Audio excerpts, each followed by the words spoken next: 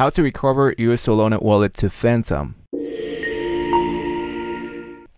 Hello people, welcome to this new video. In today's tutorial, I'm going to show you how we can recover our wallet of Phantom wallet. So there are two ways that we can do that to recover our Phantom wallet. So whether you are on your phone or you are on your browser of your computer, it's the same thing. We just need to have the following information. So once you download a Phantom wallet so you can import your wallet if you want to recover it, I'm going to add it into my browser. What's going to happen is that I'm going to click into I already have a wallet or if you already have the Phantom wallet into your extensions, you need to click where it says recover or import a wallet. So there are two ways that we can do that. What we can do is to create and import an existing wallet with a secret recovery phrase that it was given to us the first time we create our wallet. So this one has from 12 to 24 word secretly recovery phrase. But if you don't have that information, in this case, let me create a new one. So this is the secret recovery phrase that I am watching at the moment. I have to copy this information and paste it the next time I wanted to import this wallet.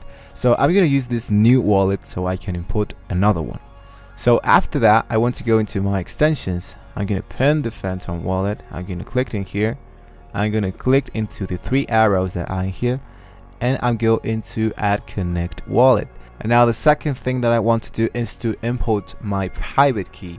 And the private key is like an address, like a very unique address of your wallet that it was given to you actually. So what I did to get this um, secret token is that I went here it says help and support and in here I went into my FAQ. I looked for recover then I looked for more information.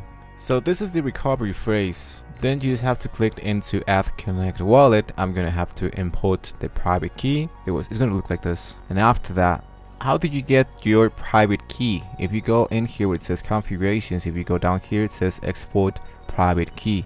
You have to put your own password and this is the key that's going to be asked for you guys. So I'm going to go into copy. I'm going to remove the wallet. I'm going to go into add connect wallet connect import private key ASW and I'm gonna paste my private key and I'm gonna import it and there you go guys it was really simple to do it so now keep in mind that any question that you have there's always the FAQ of Phantom wallets so you can receive more information about the situation or the main situation that you're having guys like maybe you were scammed or hacked and what can you do or what can they do to, to help you so hopefully this was a very useful video for you guys Thank you for watching the video. Don't forget to like and subscribe to this channel if you want to see more about this kind of stuff. And I'll be seeing you guys in the next one.